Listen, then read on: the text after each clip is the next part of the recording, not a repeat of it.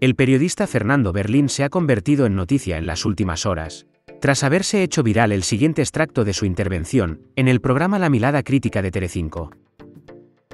Haciéndose eco de la polémica generada, tras la denuncia de la pareja de Díaz Ayuso contra la Fiscalía del Estado, Fernando Berlín se ha llevado los aplausos en las redes sociales, tras esta contundente descripción de lo que realmente está pasando parece muy bien que si un ciudadano vio, vio, o ve o entiende que están, eh, sus derechos están, se han puesto en peligro, o se han amenazado, o se han eh, me parece muy bien que recurra a la justicia y, por lo tanto eh, la pareja de Isabel Díaz Ayuso pues hace muy bien en hacerlo. Y si esto se lleva por delante al fiscal pues que se lleve por delante al fiscal. Pero esto es muy gracioso porque es tenemos una luna gigante y un dedito apuntando a la luna. O sea la luna gigante es un señor que comete un fraude importante relevante no es una cosa menor que además es la pareja de la presidenta de la Comunidad de Madrid que además bueno de pronto empiezan a emerger todos los recursos del gobierno. espera espera que vamos espera porque tenemos la luna la luna gigante, que aparece, por cierto, irrumpe en la actualidad mucho antes de lo de Begoña, porque luego lo de Begoña ha sido una nube. Eh, no, perdona.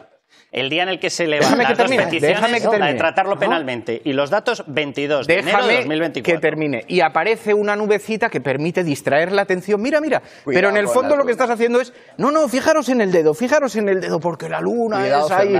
luna llena, de que esa luna, es la llena.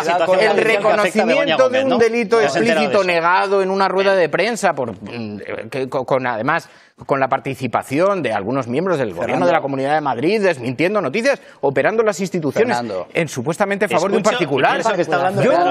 la verdad es que alucino colores. Pero eso sí, fijémonos en el dedo, fijémonos en el dedo. No miréis a la luna. No, si me dejas, muy breve,